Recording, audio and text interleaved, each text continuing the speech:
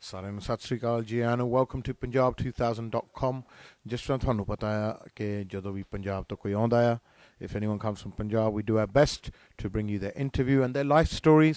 We call it infotainment. ਨਾਲ ਦੀ ਨਾਲ ਇਨਫੋਰਮੇਸ਼ਨ ਵੀ ਦੇਈਦਾ, ਨਾਲ ਦੀ ਨਾਲ ਸ਼ੁਕਲ ਮੇਲਾ ਵੀ ਕਰ ਲਈਦਾ। ਐਂਡ ਅੱਜ ਵੀ ਐਦਾਂ ਹੀ ਕੁਝ ਹੋਣਾ ਆ। I am very happy to welcome ਕਿ ਸਾਡੇ ਕੋਲੋਂ ਹੁਣ ਮੈਨੂੰ ਇਹ ਨਹੀਂ ਪਤਾ ਕਿ ਇਹਨਾਂ ਨੂੰ ਅਸੀਂ ਪੰਜਾਬ ਰਿਟਰਨ ਕਹੀਏ ਜਾਂ ਆਸਟ੍ਰੇਲੀਆ ਰਿਟਰਨ ਕਹੀਏ ਬਟ ਮੇਰੇ ਨਾਲ ਪੰਜਾਬ ਦੇ ਬਹੁਤ ਇੱਕ ਹੋਣਹਾਰ ਜਵਾਨ ਹੈਗੇ ਆ ਜੋ ਕਿ ਇੱਕ ਮਾਡਲ ਵੀ ਰਹੇ ਆ ਇੱਕ ਐਕਟਰ ਵੀ ਆ ਇੱਕ ਡਾਇਰੈਕਟਰ ਵੀ ਆ। ਮੇਰਾ ਖਿਆਲ ਤੁਸੀਂ ਯੁਵਰਾਜ ਸਿੰਘ ਆਲ ਰਾਉਂਡਰ ਹੀ ਆ ਬੈਟਿੰਗ ਵੀ ਕਰ ਲੈਂਦੇ ਬੋਲਿੰਗ ਵੀ। ਤੇ ਪਰਵੀਸ਼ ਵਰਮਾ ਸਤਿ ਸ਼੍ਰੀ ਅਕਾਲ ਤੇ ਜੀ ਆਇਆਂ ਸਤਿ ਸ਼੍ਰੀ ਅਕਾਲ ਭਾਜੀ thank you so much for having me Punjab 2000 ਵੇਖ ਰਹੇ ਸਾਰੇ ਸਰੋਤਿਆਂ ਨੂੰ ਮੇਰੇ ਵੱਲੋਂ ਬਹੁਤ ਪਿਆਰ ਭਰੀ ਸਤਿ ਸ਼੍ਰੀ ਅਕਾਲ ਜੀ। ਥੈਂਕ ਯੂ ਪਰਮੇਸ਼ੀ ਤੁਸੀਂ ਪਹਿਲਾਂ ਇਹ ਦੱਸੋ ਕਿ ਇੰਗਲੈਂਡ ਤੁਹਾਡਾ ਕਿੱਦਾਂ ਆਉਣ ਹੋਇਆ ਐਤਕੀ? ਭਾਜੀ ਇੰਗਲੈਂਡ ਹੁਣੇ E3 UK ਦਾ ਸ਼ੋਅ ਸੀਗਾ ਜੀ ਤੇ ਜਿਹੜਾ ਸ਼ੋਅ ਉਹਨਾਂ ਨੇ ਮੈਨੂੰ ਹੋਸਟ ਕਰਨ ਲਈ ਬੁਲਾਇਆ ਸੀਗਾ so it was was an opportunity to interact with fans England ਦੇ ਜਿੰਨੇ ਵੀ ਸੀਗੇ ਤੇ ਹੋਸਟਿੰਗ ਮੈਂ ਪਹਿਲਾਂ ਕਦੇ ਕੀਤੀ ਨਹੀਂ so it was good fun so show ਸੀਗਾ ਸ਼ੋਅ ਤੋਂ ਬਾਅਦ ਮੈਂ 2-4 ਦਿਨ ਇੱਥੇ ਰਹਿ ਗਿਆ ਹੌਲੀਡੇਜ਼ ਦੇ ਲਈ ਤਾਂ ਕਰਕੇ ਬਸ ਹੁਣ ਆਮ ਇਨ ਲੰਡਨ ਨਾਓ ਹਾਂਜੀ। ਤੁਹਾਨੂੰ ਲੰਡਨ ਕਿੱਦਾਂ ਲੱਗਾ? ਹਾਊ ਡਿਡ ਯੂ ਲਾਈਕ ਤੁਸੀਂ ਵੈਲ ਟਰੈਵਲਡ ਹੋ but how did you like it Bhai London ਮੈਂ ਆਪਣੀ ਹੁਣੇ ਜਿਵੇਂ ਗੱਲ ਹੋ ਰਹੀ ਸੀ ਕਿ ਮੈਂ ਪਹਿਲਾਂ ਆਸਟ੍ਰੇਲੀਆ ਤੋਂ basically been there for 10 years ਤੇ ਮੈਂ ਸਿਡਨੀ ਤੋਂ ਆ ਤੇ ਸਿਡਨੀ ਤੇ ਲੰਡਨ ਆ very similar in certain aspects certain ways ਤੇ ਮੈਨੂੰ ਲੱਗਦਾ ਸਿਡਨੀ 10 20 ਸਾਲ ਬਾਅਦ ਥੋੜਾ ਬਜ਼ੁਰਗ ਜਾ ਹੋ ਕੇ ਲੰਡਨ ਲੱਗਣ ਲੱਗ ਜਾਊਗਾ। ਸੋ ਮੈਨੂੰ ਆਸਟ੍ਰੇਲੀਆ ਦੀ ਲਾਈਫ ਮੈਂ ਕਾਫੀ ਮਿਸ ਕਰਦਾ ਕਿਉਂਕਿ ਅੱਜ ਕੱਲ ਇੰਡੀਆ ਰਹਿਣਾ ਸੋ ਹੁਣ ਮੈਂ ਦੂਜੀ ਵਾਰੀ ਆ ਲੰਡਨ, ਪਹਿਲਾਂ ਮੈਂ ਨਿਊ ਇਅਰਸ ਤੇ ਵੀ ਇੱਥੇ ਹੀ ਸੀਗਾ। ਸੋ ਮੈਨੂੰ ਹੁੰਦਾ ਜਦੋਂ ਮੈਂ ਲੰਡਨ ਆਵਾਂ ਥੋੜਾ ਸਿਟੀ ਦੇਖ ਕੇ ਕੈਫੇਜ਼ ਰੈਸਟੋਰੈਂਟਸ ਜਾ ਕੇ ਥੋੜਾ ਆਸਟ੍ਰੇਲੀਆ ਵਾਲੀ ਯਾਦਾਂ ਜੀਆਂ ਤਾਜ਼ੀਆਂ ਹੋ ਜਾਂਦੀਆਂ ਨੇ ਜੀ। ਹੁਣ ਪੰਜਾਬ 'ਚ ਜਿਹੜੇ ਦੇਖ ਰਹੇ ਹੋਗੇ ਇੰਟਰਵਿਊ ਉਹ ਕਹੋਗੇ ਯਾਰ ਜਾਂ ਤਾਂ ਇਹ ਬੰਦਾ ਭਾਗ ਲਿਆ। ਜਾਂ ਤਾਂ ਡਿਪੋਰਟ ਹੋ ਗਿਆ ਜਿਹੜਾ ਬੰਦਾ ਆਸਟ੍ਰੇਲੀਆ ਪੱਕੇ ਹੋਣ ਉੱਥੇ ਲੋਕ ਰੋਂਦੇ ਆ, ਇਹ ਛੱਡ ਕੇ ਮਹਾਲੀ ਆ ਕੇ ਬਹਿ ਗਿਆ। ਇਹ ਕਿੱਦਾਂ ਹੋਇਆ? ਪਹਿਲਾਂ ਤਾਂ ਤੁਸੀਂ ਬੰਦਾ ਇੰਨਾ ਸਟਰਗਲ ਕਰਦਾ ਕਿ ਮੈਂ ਪੰਜਾਬ ਚੋਂ ਨਿਕਲ ਕੇ ਕਿਤੇ ਪੱਕਾ ਹੋਵਾਂ, ਫਿਰ ਪੱਕਾ ਹੋ ਕੇ ਮੁੜ ਕੇ ਆ ਕੇ ਹਰਜਾਬ ਭਾਈ ਦੀਆਂ ਵੀਡੀਓਜ਼ ਦੇਖਦਾ ਬੰਦਾ ਸਟੂਡੈਂਟ ਵੀਜ਼ੇ ਤੇ। ਮੈਂ ਭਾਜੀ, ਇਹ ਵਾਹਿਗੁਰੂ ਦੇ ਰੰਗ ਨੇ ਜੀ ਕਰਕੇ ਪਹਿਲਾਂ ਮੈਂ ਰੱਬ ਨੂੰ ਇੰਨਾ ਮੰਨਦਾ ਨਹੀਂ ਸੀ। ਰੱਬ ਨੂੰ ਮੰਨਣ ਦਾ ਮਤਲਬ ਜੋ ਅਸੀਂ ਜਵਾਨ ਹੁੰਨੇ ਹੋ ਹਨਾ ਤੁਹਾਡੇ ਜਵਾਨੀ ਦਾ ਜਿਹੜਾ ਕਰੰਟ ਹੀ ਇੰਨਾ ਜ਼ਿਆਦਾ ਬਾਲੇ ਮਾਰਦਾ ਹੁੰਦਾ ਕਿ ਤੁਹਾਨੂੰ ਹਾਂਜੀ ਕਿ ਤੁਹਾਨੂੰ ਲੱਗਦਾ ਯਾਰ ਮੈਂ ਸਭ ਕੁਝ ਹਾਂ ਬੰਦਾ ਰੈਸ਼ਨਲੀ ਗੱਲਾਂ ਕਰਦਾ ਹੈ। ਪਰ ਜਿਵੇਂ ਜਿਵੇਂ ਤੁਸੀਂ ਜ਼ਿੰਦਗੀ ਦੇ ਹੋਰ ਕਰੀਬ ਹੁੰਦੇ ਜਾਂਦੇ ਹੋ ਤੁਸੀਂ ਰੱਬ ਨਾਲ ਵੀ ਜੁੜਦੇ ਜਾਂਦੇ ਹੋ। ਇਸ ਚੀਜ਼ 'ਚ ਮੇਰੇ ਮਦਰ ਪਰਮਜੀਤ ਕੌਰ ਵਰਮਾ ਮੰਮੀ ਦਾ ਵੀ ਬਹੁਤ ਵੱਡਾ ਹੱਥ ਆ ਮੰਮੀ ਬਹੁਤ ਪਾਠ ਕਰਦੇ ਨੇ। ਪਹਿਲਾਂ ਮੰਮੀ ਜਿਵੇਂ ਆਪਾਂ ਫਿਲਮਾਂ 'ਚ ਦੇਖਦੇ ਹੁੰਨੇ ਆ ਨਾ ਬੰਦੇ ਨੇ ਲੇਟ ਆਉਣਾ ਲੇਟ ਜਾਣਾ ਤੇ ਮਾਂ ਨੇ ਘਰੇ ਪਾਠ ਕਰਨਾ ਉਹ ਗੱਲਾਂ ਕਦੇ ਸਮਝ ਨਹੀਂ ਸੀ ਆਈਆਂ। ਫਿਰ ਹੁਣ ਮੰਮੀ ਕਾਰਨ ਮੰਮੀ ਮੈਨੂੰ ਹਰ ਚੀਜ਼ ਰੱਬ ਦੇ ਰੈਫਰੈਂਸ ਨਾਲ ਜਾਂ ਗੁਰਬਾਣੀ ਦੇ ਰੈਫਰੈਂਸ ਨਾਲ ਸਮਝਾਉਂਦੇ ਨੇ ਤਾਂ ਮੈਨੂੰ ਗੱਲਾਂ ਦੋਸ ਗੱਲ ਦੇ ਦੇ make lot sense to me ਮੈਨੂੰ ਲੱਗਦਾ ਹੁਣ ਮੇਰੀ ਜਿਹੜੀ ਜ਼ਿੰਦਗੀ ਆ ਉਹ ਰੱਬ ਸੂਤਰਧਾਰ ਹੈ ਮੇਰੀ ਕਹਾਣੀ ਦਾ। ਮੇਰੀ ਕਹਾਣੀ ਰੱਬ ਚਲਾ ਰਿਹਾ। ਤੇ ਉਹ ਰੱਬ ਦਾ ਰੂਪ ਮੈਂ ਆਪਦੇ ਮਾਪਿਆਂ ਨੂੰ ਦੇਖਦਾ ਕਿ ਮੇਰੇ ਡੈਡ ਮੇਰੇ ਮਮ ਨਾਲ ਮੈਂ ਬਹੁਤ ਜ਼ਿਆਦਾ ਮੇਰਾ ਰਿਲੇਸ਼ਨਸ਼ਿਪ ਪਹਿਲਾਂ ਨਾਲੋਂ ਇੰਪਰੂਵ ਹੋਇਆ। ਸੋ ਪਹਿਲਾਂ ਜਦੋਂ ਮੈਂ ਆਸਟ੍ਰੇਲੀਆ ਗਿਆ ਸੀਗਾ 2007 ਦੇ ਵਿੱਚ ਗਿਆ ਸੀ ਉੱਥੇ ਤੁਸੀਂ ਤਾਂ ਮੇਰੇ ਖਿਆਲ ਨਾਲ ਮੈਂ ਤੁਹਾਨੂੰ ਦੱਸਣ ਦੀ ਲੋੜ ਹੀ ਨਹੀਂ ਜਿਹੜੀ ਸਟੂਡੈਂਟ ਵੀਜ਼ੇ ਵਾਲੀ ਸਟਰਗਲ ਹੈ ਹਨਾ ਜੀ? ਉਹ ਸਾਰੀ ਸਟਰਗਲ ਚੋਂ ਨਿਕਲਿਆ ਜੀ ਮੈਂ। ਮੈਂ ਉਦੋਂ ਰੋਟੀ ਨਾ ਖਾਣੀ ਦੋ ਦੋ ਦਿਨ ਪੈਸੇ ਜੋੜਨੇ ਫੀਸ ਦੇ ਲਈ ਮੈਂ ਜਾਂ ਇੱਕ ਦਿਨ ਚ ਇੱਕ ਵਾਰੀ ਰੋਟੀ ਖਾਣੀ ਹਨਾ ਇਹੋ ਜਿਹੇ ਤੁਸੀਂ ਉਹ ਕਰਦੇ। ਪਰਮੇਸ਼ ਤੁਸੀਂ ਬਾਹਰ ਕੱਲ ਹੀ ਗਏ ਸੀ। ਕਿ ਕਿ ਤੁਹਾਨੂੰ ਫੈਮਿਲੀ ਨੇ ਮਜਬੂਰ ਕੀਤਾ ਬਾਹਰ ਜਾਣ ਨੂੰ ਜਾਂ ਤੁਸੀਂ ਪੰਜਾਬ ਦੇ ਸਿਚੁਏਸ਼ਨ ਚੋਂ ਫੈਡ ਅਪ ਹੋ ਕੇ ਬਾਹਰ ਗਏ ਸੀ ਜਾਂ ਤੁਸੀਂ ਆਪਣੀ ਫਿਊਚਰ ਬਣਾਉਣ ਗਏ ਸੀ ਜਾਂ ਫਿਰ ਤੁਹਾਨੂੰ ਪੰਜਾਬ 'ਚ ਕੋਈ ਆਪਣਾ ਫਿਊਚਰ ਦਿਸਦਾ ਨਹੀਂ ਸੀ। ਤੁਸੀਂ ਗਏ ਕਿਉਂ ਸੀ? ਬੰਦਾ ਜਾਂਦਾ ਕਿਉਂ ਯਾਰ ਬਾਹਰ? ਭਾਜੀ ਇਸ ਇਹ ਗੱਲ ਦਾ ਜਿਹੜੇ ਲੋਕ ਜਵਾਬ ਦਿੰਦੇ ਨੇ ਉਹ ਪੋਲੀਟੀਕਲੀ ਕਰੈਕਟ ਜਵਾਬ ਦਿੰਦੇ ਨੇ। ਨਹੀਂ ਸੱਚ ਦੱਸ ਤੈਨੂੰ ਪਤਾ ਮੈਂ ਸਾਤੋਂ ਨਾਲ ਕੋ ਹੁਣ ਤੁਹਾਡੇ ਕੋਲੇ ਬੈਠਾ ਮੈਂ ਤੁਹਾਡੇ ਤੋਂ ਬਹੁਤ ਇਨਸਪਾਇਰਡ ਆ ਹਨਾ? ਮੈਂ ਤੁਹਾਨੂੰ ਸੱਚ ਦੱਸਦਾ ਨਾ ਤਾਂ ਮੇਰੇ ਘਰਦਿਆਂ ਨੇ ਮੈਨੂੰ ਬਾਹਰ ਜਾਣ ਲਈ ਕਿਹਾ ਨਾ ਪੰਜਾਬ ਦੇ ਹਾਲਾਤ ਮਾੜੇ ਸੀ। ਪੰਜਾਬ ਦੇ ਹਾਲਾਤ ਬਹੁਤ ਚੰਗੇ ਨੇ ਜੀ ਪੰਜਾਬ 'ਚ ਵਧੀਆ ਲੋਕ ਪੜ੍ਹਦੇ ਨੇ ਇੰਟੈਲੀਜੈਂਟ ਮੁੰਡੇ ਕੁੜੀਆਂ ਨੇ ਵਧੀਆ ਪੜ੍ਹਦੇ ਨੇ। ਮੈਂ ਪੜ੍ਹਾਈ 'ਚ ਬਹੁਤ ਕਮਜ਼ੋਰ ਸੀ। ਮੈਂ ਇੰਨਾ ਜ਼ਿਆਦਾ ਕਮਜ਼ੋਰ ਸੀ ਕਿ ਮੈਂ ਪੜ੍ਹਾਈ 'ਚ ਵੀ ਫੇਲ ਹੋ ਜਾਣਾ ਤੇ ਜਦੋਂ ਪਲੱਸ 2 ਖਤਮ ਹੋਈ ਇੱਕ ਨਲਾਇਕ ਸਟੂਡੈਂਟ ਕੋਲੇ ਜੋ ਪੜ੍ਹਾਈ 'ਚ ਚੰਗਾ ਨਹੀਂ ਹੈਗਾ ਜ਼ਿਆਦਾ ਆਪਸ਼ਨਸ ਨਹੀਂ ਸੀ। ਮੈਂ ਸੋਚਿਆ ਸੀ ਆਸਟ੍ਰੇਲੀਆ ਮੇਰੇ ਲਈ ਇੱਕ ਨਾ ਐਸਕੇਪ ਹੋਊਗੀ ਕਿ ਮੈਂ ਬਾਹਰ ਚਲਾ ਜਾਊਂਗਾ ਮੇਰੀ ਮਾਸੀ ਹੈਗੀ ਆ ਉੱਥੇ ਸੈੱਟ ਹੋ ਜਾਊਂ। ਪਤਾ ਨਹੀਂ ਬਾਹਰ ਜਾਣਾ ਸੈੱਟ ਹੋਣਾ ਲੱਗਦਾ ਹੁੰਦਾ ਸੀਗਾ।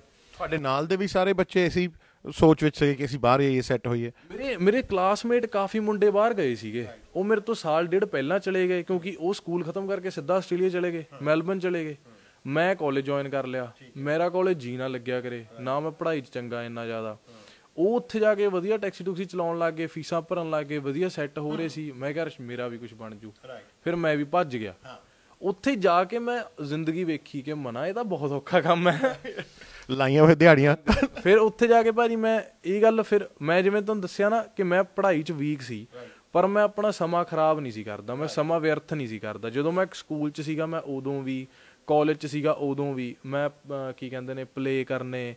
ਮੈਂ ਥੀਏਟਰ ਬਹੁਤ ਕੀਤਾ ਬਾਈ ਮੈਂ ਪੰਜਾਬ ਦੇ ਆਲਮੋਸਟ ਹਰ ਇੱਕ ਸ਼ਹਿਰ ਚ ਥੀਏਟਰ ਕਰ ਚੁੱਕਾ ਸੀਗਾ ਸਕੂਲ ਵੇਲੇ ਹੀ। ਨੁੱਕੜ ਨਾਟਕ ਕਰਨੇ ਕਵਤਾਵਾਂ ਲਿਖਣੀਆਂ ਡਿਬੇਟਸ ਵਿੱਚ ਜਾਣਾ। ਮੈਂ ਉਹ ਚੀਜ਼ਾਂ 'ਚ ਆਪਦੀ એનર્ਜੀ ਬਹੁਤ ਲਾਉਂਦਾ ਰਿਹਾ। ਮੈਂ ਪੜ੍ਹਾਈ 'ਚ ਮਾੜਾ ਸੀ ਕਿਉਂਕਿ ਮੈਨੂੰ ADD ਸੀ ਜਾਂ ਮੈਨੂੰ ਉਹ ਕੀ ਕਹਿੰਦੇ ਨੇ ਆਪਣਾ ਮੈਂ ਡਿਸਲੈਕਸਿਕ ਸੀਗਾ।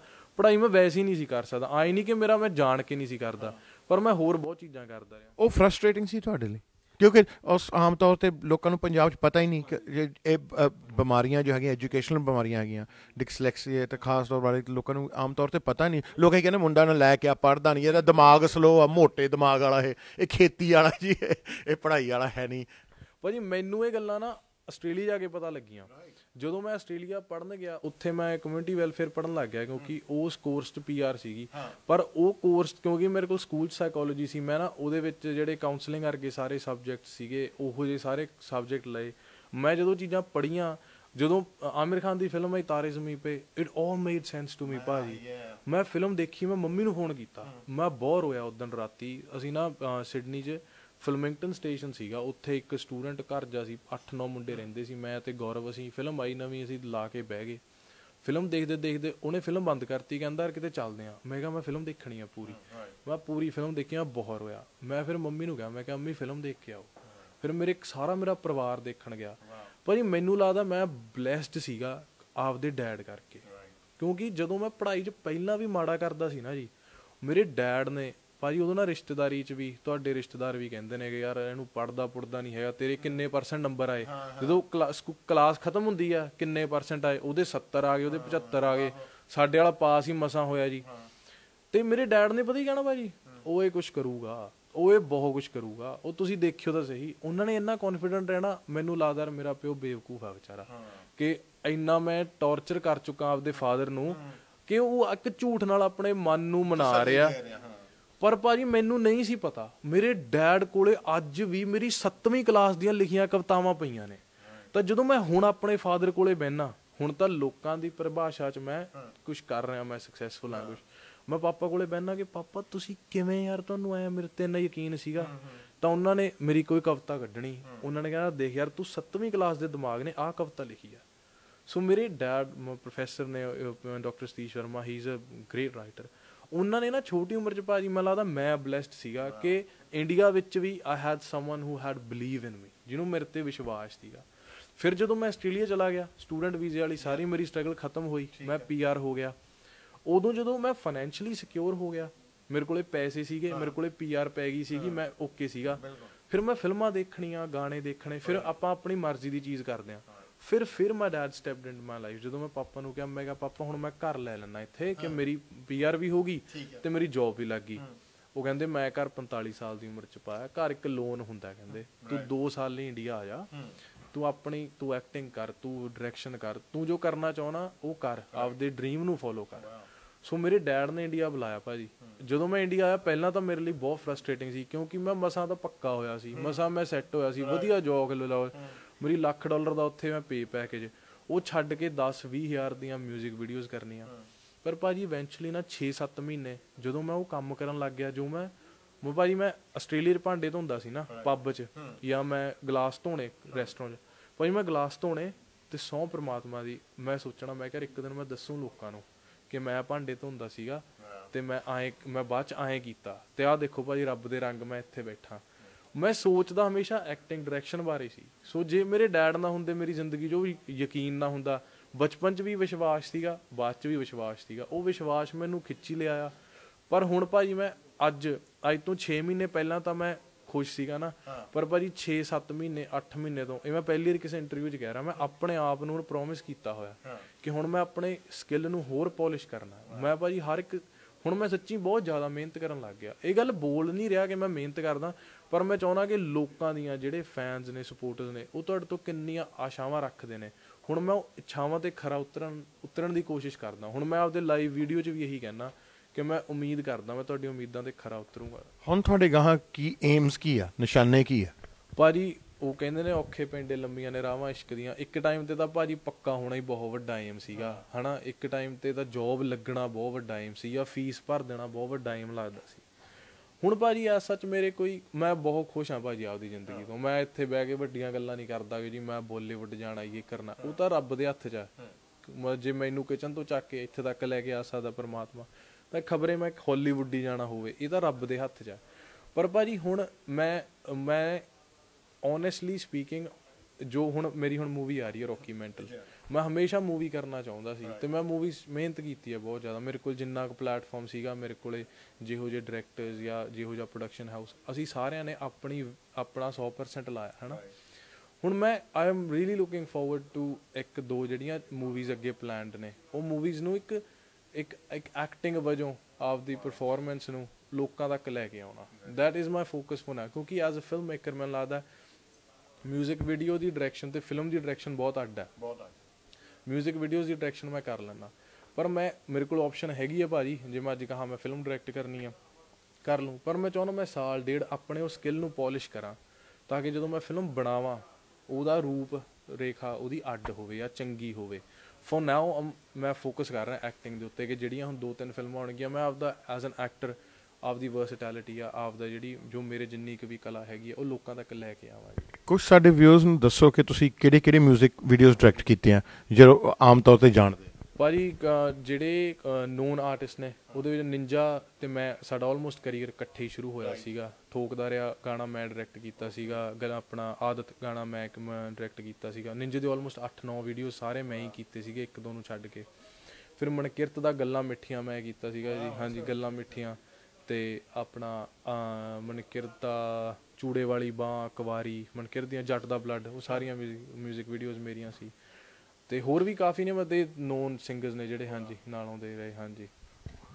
ਹੁਣ ਤੁਹਾਡੀ ਫਿਲਮ ਆ ਰਹੀ ਆ। ਫਿਲਮ 'ਚ ਤੁਹਾਡਾ ਆਉਣਾ ਕਿੱਦਾਂ ਹੋਇਆ? ਅਚਾਨਕ ਹੀ ਹੋਇਆ ਜਾਂ ਤੁਸੀਂ ਆਪਣੇ ਆਪ ਨੂੰ ਪਹਿਲਾਂ ਪ੍ਰਮੋਟ ਕੀਤਾ ਤੁਸੀਂ ਡਾਇਰੈਕਟਰਾਂ ਕੋ ਗਏ ਜਾਂ ਕਿੱਦਾਂ ਕਿੱਦਾਂ ਹੋਇਆ? ਭਾਜੀ ਪਹਿਲਾਂ ਬਹੁਤ ਕਰਦਾ ਸੀਗਾ। 2013 ਵਿੱਚ ਜਦੋਂ ਮੇਰਾ ਇੰਡੀਆ ਆਉਣਾ ਆਉਣ ਆਇਆ ਮੈਂ ਉਦੋਂ ਤਿੰਨ ਚਾਰ ਡਾਇਰੈਕਟਰਸ ਨੂੰ ਮਿਲਿਆ ਪਰ ਨਥਿੰਗ ਰੀਲੀ ਹੈਪਨਡ ਉਹਨਾਂ ਨੇ ਕਹਿਣਾ ਮੈਨੂੰ ਆਪਣੀਆਂ ਫੋਟੋਆਂ ਦੇ ਦੇ ਪਰ ਫੋਟੋ ਸੈਂਡ ਕਰਨ ਨਾਲ ਕਦੇ ਕਿਸੇ ਨੂੰ ਕੰਮ ਨਹੀਂ ਮਿਲਿਆ ਇੰਡਸਟਰੀ ਦੇ ਵਿੱਚ। ਤੁਹਾਨੂੰ ਇਹ ਗੱਲ ਲਾਰਿਆਂ ਮੁਤਾਬਕ ਹੀ ਲੱਗੀ ਕਿ ਜਾਂ ਫਿਰ ਉਹ ਬੜਾ ਸੀਰੀਅਸਲੀ ਨਹੀਂ ਟੇਕ ਕਰਦੇ ਸੀ ਜਾਂ ਫਿਰ ਤੁਹਾਡਾ ਅਪਰੋਚ ਹੀ ਗਲਤ ਸੀ ਕੁਝ ਭਾਜੀ ਮੈਂ ਹਮੇਸ਼ਾ ਮੈਂ ਜਿਵੇਂ ਨਾ ਮੈਨੂੰ ਜੋ ਲੱਗਦਾ ਕਿ ਇੱਕ ਬੁੱਧਿਸਟ ਫਿਲਾਸਫੀ ਆ 80 20 ਦੀ ਕਿ 20% ਤੁਹਾਡੇ ਨਾਲ ਜ਼ਿੰਦਗੀ ਕਰਦੀ ਆ 80% ਤੁਸੀਂ ਤੁਹਾਡੇ ਤੇ ਡਿਪੈਂਡ ਕਰਦਾ ਤੁਸੀਂ ਤੁਸੀਂ ਜ਼ਿੰਦਗੀ ਨੂੰ- ਨਾਲ ਕਿਵੇਂ ਕਰਦੇ ਹੋ ਹਨਾ? ਤਾਂ ਮੈਂ ਜਿਵੇਂ ਤੁਸੀਂ ਕਿਹਾ ਨਾ ਤੂੰ ਪੰਜਾਬ ਛੱਡ ਕੇ ਉਹ ਪੰਜਾਬ 'ਚ ਪ੍ਰੋਬਲਮ ਸੀ ਤਾਂ ਮੈਂ ਆਪਣੇ ਜੋ ਕੀ ਪ੍ਰੋਬਲਮ ਦੇਖਦਾ ਤਾਂ ਮੈਂ ਜਿਵੇਂ ਮੈਂ ਕਿਹਾ ਕਿ ਪੰਜਾਬ 'ਚ ਤਾਂ ਪੰਜਾਬ ਤਾਂ ਠੀਕ ਹੈ ਜੀ ਮੈਂ ਪੜ੍ਹਾਈ 'ਚ ਮਾੜਾ ਸੀ। ਉਵੇਂ ਇਸ ਚੀਜ਼ ਦਾ ਜਵਾਬ ਵੀ ਮੈਂ ਡਾਇਰੈਕਟਰਾਂ ਦੀ ਕਮੀ ਨਹੀਂ ਕੱਢਦਾ। ਸ਼ਾਇਦ ਮੇਰੇ 'ਚ ਕਮੀ ਹੋਵੇ। ਸ਼ਾਇਦ ਉਹੀ ਦੇਖਦੇ ਹੋਣੇ ਯਾਰ ਇਹਨੂੰ ਕੌਣ ਦੇਖਣ ਆਊਗਾ? ਮੇਰੀ ਕੋਈ ਫੈਨ ਫੋਲੋਇੰਗ ਹੀ ਨਹੀਂ ਸੀਗੀ। ਜਦੋਂ ਪਹਿਲਾਂ ਮੈਂ ਗਿਆ ਤਾਂ ਨੋ ਵਨ ਰੀਲੀ ਬਲੀਵਡ ਇਨ ਮੀ ਹਰ ਬੰਦਾ ਮੇਰਾ ਪਿਓ ਵੀ ਹੈ ਨਹੀਂ।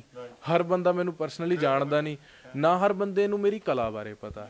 ਤੇ ਅੱਜ ਦੀ ਤਰੀਕ ਵਿੱਚ ਮੈਨੂੰ ਲੱਗਿਆ ਕਿ ਮੈਂ ਹੁਣ ਸਕਰੀਨ ਟੈਸਟ ਦੇ ਨਹੀਂ ਸਕਦਾ ਕਿਉਂਕਿ ਪੰਜਾਬ 'ਚ ਕਲਚਰ ਹੈ ਨਹੀਂ ਤੇ ਸਕਰੀਨ ਟੈਸਟ ਮੇਰੀ ਵਰਸਟੈਲਿਟੀ ਫਿਰ ਵੀ ਸ਼ਾਇਦ ਨਾ ਦਿਖਾ ਸਕੇ ਸੋ ਮੈਂ 뮤직 ਵੀਡੀਓਜ਼ 'ਚ ਲੱਗ ਗਿਆ ਮੈਂ ਫਿਲਮਾਂ ਬਾਰੇ ਭੁੱਲ ਗਿਆ ਸੀ ਮੈਂ ਸੋਚਿਆ ਸੀ ਫਿਲਮ ਦਾ ਜਦੋਂ ਸਮਾਂ ਆਊਗਾ ਆਪਣੇ ਆਪ ਹੋਊਗਾ ਭਾਜੀ ਜਦੋਂ ਹੁਣ ਫਿਲਮ ਆਈ ਤਾਂ ਹੁਣ ਸਾਡੇ ਜਿਹੜੇ ਡਾਇਰੈਕਟਰ ਨੇ ਵਿਕਰਮ ਥੋਰੀ ਉਹ ਆਪ ਆਏ ਮੇਰੇ ਕੋਲੇ ਕਿਉਂਕਿ ਉਹਨਾਂ ਉਹਨਾਂ ਨੇ ਨਾ ਭਾਜੀ ਫਿਲਮ 'ਚ ਵੀ ਮੈਨੂੰ ਕਹਿਣਾ ਜਿਹੜਾ ਫਲਾਣਾ 뮤직 ਵੀਡੀਓ 'ਚ ਉਹ ਰਿਐਕਸ਼ਨ ਨਹੀਂ ਉਹ ਵਾਲੇ ਰਿਐਕਸ਼ਨ ਵਾਲਾ ਫੀਲ ਹੈ।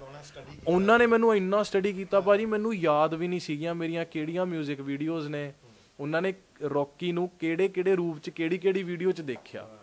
ਫਿਰ ਉਹਨਾਂ ਨੇ ਮੈਨੂੰ ਇੱਕ ਸੀਨ 'ਚ ਕਹਿਣਾ ਕਿ ਆਹ ਸੀਨ ਆ ਜਿਹੜਾ, ਇਹ ਤੇਰੀਆਂ ਅੱਖਾਂ ਵਾਲਾ ਗੁੱਸਾ ਜੱਟ ਦਾ ਬਲੱਡ ਹੋਵੇ, ਪਰ ਜਿਹੜੀ ਤੇਰੇ ਚਿਹਰੇ ਤੇ ਸਮਾਈਲ ਆ, ਉਹ ਮੇਰੇ ਪਿੱਛੇ ਵਾਲੀ ਲੈ ਕੇ ਆ। ਯੂਨੀ ਰਿਐਕਸ਼ਨਸ ਨਾਲ ਖੇਡੇ। ਉਹਨਾਂ ਨੇ ਮੈਨੂੰ ਦੇਖ ਲਿਆ ਸੀਗਾ ਫਿਲਮ ਦੇ ਵਿੱਚ। ਤੇ ਮੈਂ ਸੱਚੀ ਗੱਲ ਬਹੁਤ ਵਾਰੀ ਕਹਿਣਾ ਕਿ ਹਰ ਬੰਦੇ ਨੂੰ ਭਾਈ ਲੱਗਦਾ ਨਾ ਮੈਂ ਬਹੁਤ ਘੈਂਟ ਆ। ਹਰ ਬੰਦੇ ਨੂੰ ਲੱਗਦਾ ਨੇਚਰ ਹੈ ਬੰਦੇ ਲੱਗਦਾ ਮੈਂ ਮੈਂ ਬੜੀ ਵਧੀਆ ਹਨਾ? ਹਰ ਬੰਦਾ ਵਿਸ਼ਵਾਸ ਰੱਖਦਾ।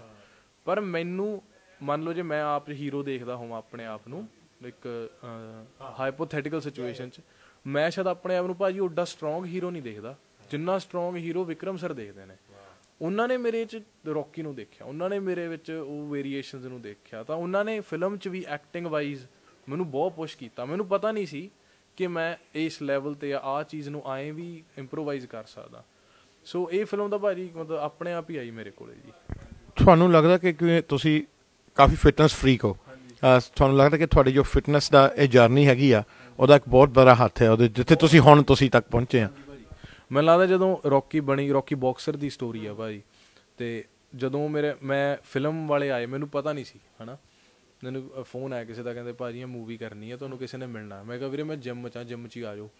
ਤੇ ਉਹ 골ਡ ਜਿਮ ਆ ਗਏ ਮੋਹਾਲੀ। ਉਹ ਆ ਕੇ ਬਹਿ ਗਏ ਮੈਂ ਉਹਦਾ ਜਿਮ ਲਾਈ ਗਿਆ ਜਲਾਈ ਗਿਆ। ਮੇਰਾ ਡਾਇਰੈਕਟਰ ਹੱਸੀ ਜਾਵੇ ਮੇਰੇ ਵੱਲ ਦੇਖ ਕੇ। ਮੈਂ ਸੋਚਾਂ ਮੈਂ ਪਤਾ ਨਹੀਂ ਇਹ ਕੀ ਸੋਚੀ ਜਾਂਦਾ ਹੈ ਕਿ ਮੇਰੇ ਵੱਲ ਦੇਖ ਕੇ ਹੱਸੀ ਜਾਂਦਾ। ਮੈਨੂੰ ਔੜ ਲੱਗੇ।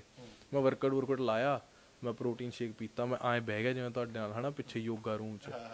ਉਹਨਾਂ ਨੇ ਸਟੋਰੀ ਸੁਣਾਈ ਕਹਿੰਦੇ ਕਹਾਣੀ ਹੈ ਇੱਕ ਬਾਕਸਰ ਕੀ ਉਸਕਾ ਨਾਮ ਹੈ ਰੌਕੀ ਮੈਂਟਲੀਓ ਪਰ ਹੀ ਮੈਂ ਮਾਣ ਨਹੀਂ ਕਰਦਾ, ਮੈਂ ਬੜਾ, ਅੱਜ ਦੀ ਤਰੀਕ ਤਾਂ ਬਈ ਮੈਂ ਰੱਬ ਨੂੰ ਤੋਂ ਡਰ ਕੇ ਰਹਿਣਾ ਬਹੁਤ ਜ਼ਿਆਦਾ।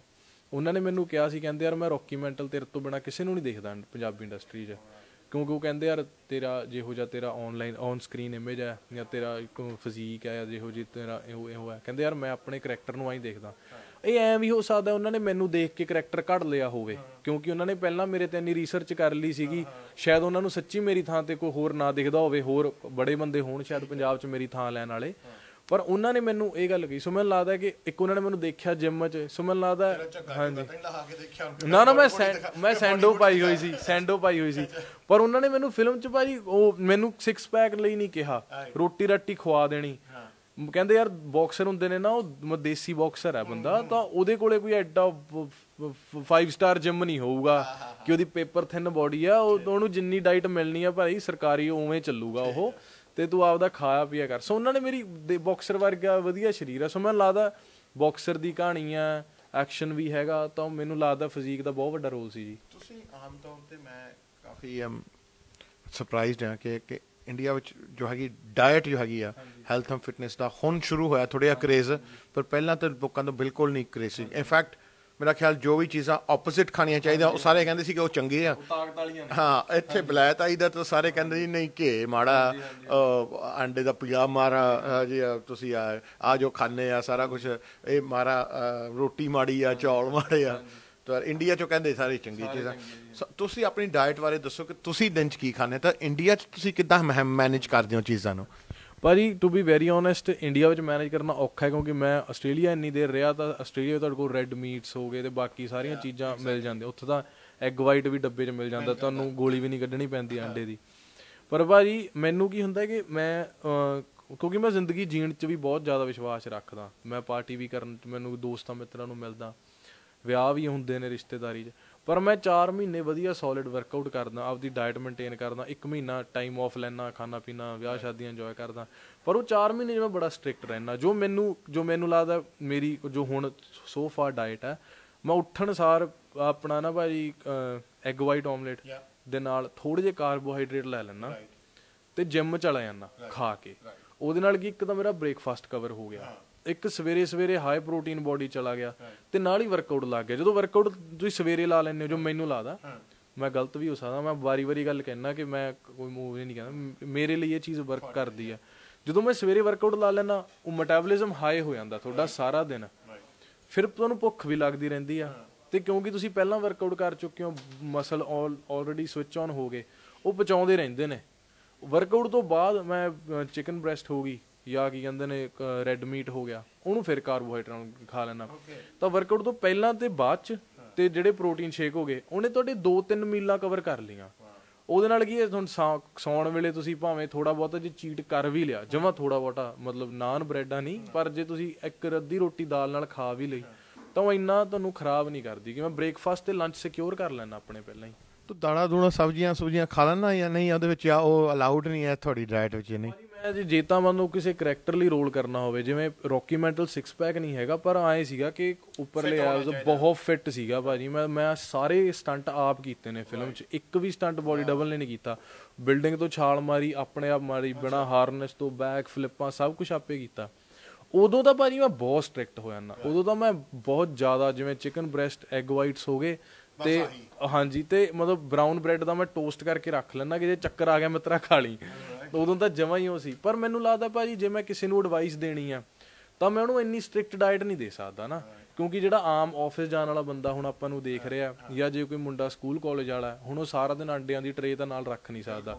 ਇੰਡੀਆ 'ਚ ਇਹ ਪ੍ਰੋਬਲਮ ਹੋ ਜਾਂਦੀ ਹੈ ਕਿ ਆਪਾਂ ਨੇ ਡਾਈਟ ਫੋਲੋ ਕਰਨੀ ਔਖੀ ਹੁੰਦੀ। ਜਾਂ ਤਾਂ ਆਪਾਂ ਐਕਸਟ੍ਰੀਮ ਮਾੜੀ ਡਾਈਟ ਜਾਂ ਐਕਸਟ੍ਰੀਮ ਚੰਗੀ ਡਾਈਟ ਤਾਂ ਮੈਨੂੰ ਹੁੰਦਾ ਕਿ ਜਿੰਨਾ ਕੁ ਹੋ ਸਕਦਾ ਉਨਾ ਕੁ ਕਰ ਲਓ। ਕਿ ਸਵੇਰੇ ਤੇ ਦੁਪਹਿਰ ਵਾਲੀ ਮੀਲ ਹੈ ਜਿਹੜੀ, ਉਹ ਹਾਈ ਪ੍ਰੋਟੀਨ ਰੱਖ ਲਓ।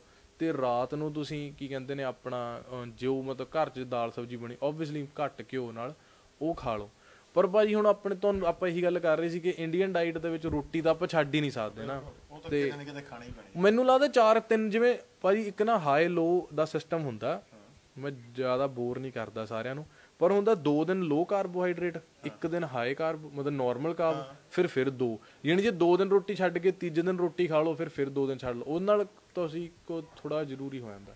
ਪਰਮੇਸ਼, ਇਹ ਜੋ ਇੰਡਸਟਰੀ ਆ, ਇਹਦੇ ਵਿੱਚ ਤੈਨੂੰ ਲੱਗਦਾ ਕਿ ਫਿਜ਼ੀਕਲੀ ਫਿਟ ਹੁਣ ਅੱਜ ਕੱਲ ਡਿਮਾਂਡਾਂ ਜ਼ਿਆਦਾ ਹੈ ਹੁਣ ਹੀਰੋ ਦਾ। ਜੇ ਪੁਰਾਣੇ ਅਸੀਂ ਫਿਲਮ ਦੇਖੀਏ, ਪੰਜਾਬੀ ਫਿਲਮ ਹੀਰੋ ਜਾਂ ਬਾਲੀਵੁੱਡ ਹੀਰੋ ਵੀ ਮਤਲਬ ਉਹ 6 ਪੈਕ ਵਾਲੇ ਨਹੀਂ ਸੀ। ਕਿਸੇ ਕੋ ਵੀ 6 ਪੈਕ ਨਹੀਂ ਸੀ। ਭਾਵੇਂ ਉਹ ਧਰਮਿੰਦਰ ਜੀ ਹੋਣ, ਭਾਵੇਂ ਸ਼ਸ਼ੀ ਕਪੂਰ ਜੀ ਹੋਣ ਭਾਵਾਂ ਤੁਸੀਂ ਸੰਜੀਵ ਕੁਮਾਰ ਦੇਖ ਲਓ, ਇੱਥੇ ਤੁਸੀਂ ਪੰਜਾਬੀ ਫਿਲਮਾਂ ਜਾਓ, ਵਰਿੰਦਰ ਜੀ ਦੇਖ ਲਓ ਰਾਈਟ ਕਿਸੇ ਕੋ ਵੀ ਤੁਸੀਂ ਹਰਭਜਨ ਮਾਨ ਜੀ ਵੀ ਦੇਖ ਲਓ ਹੈ ਨਾ ਦੇ ਨਾਟ ਜਿਵੇਂ ਤੁਸੀਂ ਕੋਈ ਹਰਿਤਿਕ ਰੋਸ਼ਨ ਨਹੀਂ, ਜਾਂ ਫਿਰ ਉਹਦੇ ਚ ਕੋਈ ਸਲਮਾਨ ਖਾਨ ਵਾਲਾ ਨੇ ਹੁਣ ਜੋ ਅੱਜ ਕੱਲ ਦੇ ਹੀਰੋ ਆ, ਜੋ ਜਿੱਦਾਂ ਦਾ ਮਰਜ਼ੀ ਹੋਏ, ਹਰ ਕੋਈ ਇਸ ਚੀਜ਼ ਤੇ ਲੱਗਾ ਕਿ ਮੈਂ ਬਾਡੀ ਬਣਾਵਾਂ ਬਾਡੀ ਬਣਾਵਾਂ। ਕੀ ਇਹ ਡਿਮਾਂਡ ਜ਼ਿਆਦਾ ਹੈ? ਕੁਝ ਪਬਲਿਕ ਦੀ ਬਣਾਈਆਂ ਡਿਮਾਂਡਾਂ ਹੈ ਜਾਂ ਕੀ? ਕੰਪੀਟੀਸ਼ਨ ਜ਼ਿਆਦਾ ਹੋ ਗਿਆ।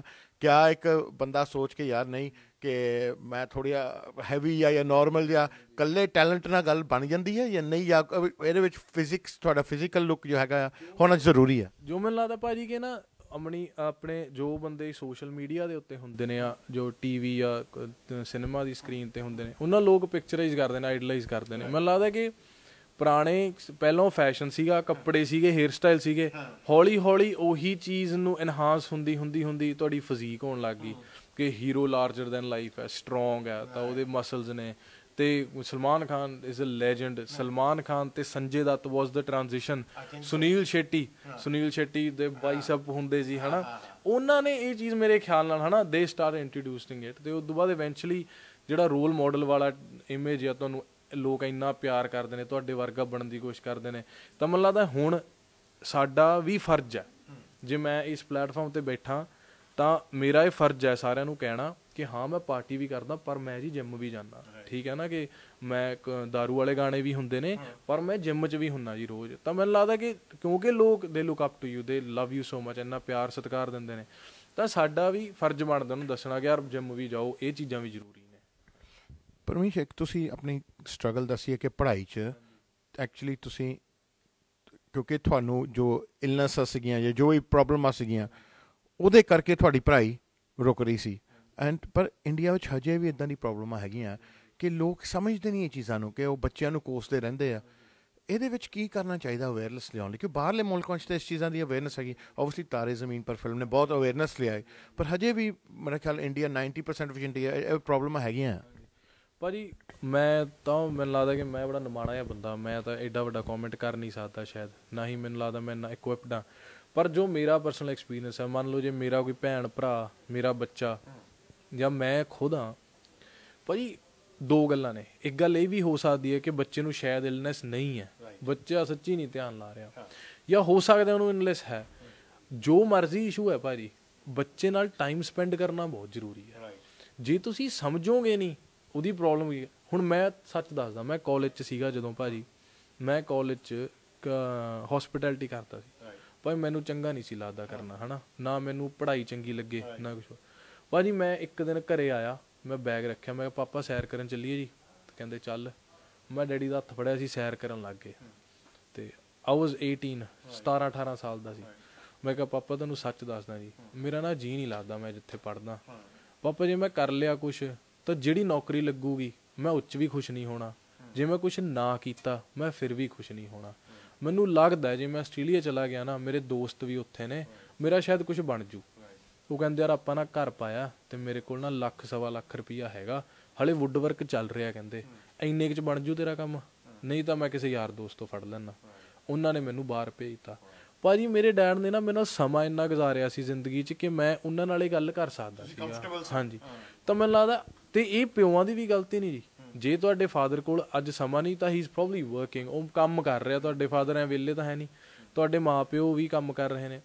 ਸਾਨੂੰ ਇਨੀਸ਼ੀਏਟਿਵ ਲੈਣਾ ਪੈਣਾ, ਸਾਨੂੰ ਆਪਣੇ ਮਾਪਿਓ ਕੋਲੇ ਬਹਿਣਾ ਪੈਣਾ, WhatsApp, Instagram, Facebook, Snapchat ਛੱਡ ਕੇ। ਉਹਨਾਂ ਨਾਲ ਗੱਲ ਕਰਨੀ, ਉਹਨਾਂ ਨਾਲ ਇੱਕ ਰਪੋ ਬਣਾ ਉਹਨਾਂ ਨਾਲ ਇੱਕ ਰਿਲੇਸ਼ਨਸ਼ਿਪ ਬਿਲਡ ਕਰਨਾ ਪੈਣਾ ਕਿ ਉਹਨਾਂ ਨੂੰ ਦੱਸੋਗੇ, ਮੈਨੂੰ ਇਹ ਪ੍ਰੋਬਲਮ ਹੈ। ਜਦੋਂ ਮੈਂ, ਮਤਲਬ, ਜੋ ਛੋਟੇ ਹੁੰਦੇ ਤਾਂ ਨਹੀਂ, ਪਰ ਜੇ ਵੀ, ਜੋ ਵੀ ਯੰਗ ਐਡਲਟਸ ਹੈਗੇ ਨੇ ਮੈਂ ਬਹੁਤ ਓਪਨ ਆ ਇਹ ਚੀਜ਼ਾਂ ਬਾਰੇ ਗੱਲ ਕਰਦਾ, ਕਿਉਂਕਿ ਮੈਨੂੰ ਲੱਗਦਾ ਸ਼ਾਇਦ ਜੇ ਮੇਰੀਆਂ ਗੱਲਾਂ ਅੱਧੇ ਕਹਿਣਗੇ, ਯਾਰ ਕੀ ਬੋਰ ਕਰ ਰਿਹਾ, ਸ਼ਾਇਦ ਇੱਕ ਬੰਦਾ ਰਿਲੇਟ ਕਰ ਗਿਆ ਨਾ ਜੀ, ਮੈਂ ਉਹ ਬੰਦੇ ਦੀ ਸਿਚੁਏਸ਼ਨ ਸਮਝਦਾ।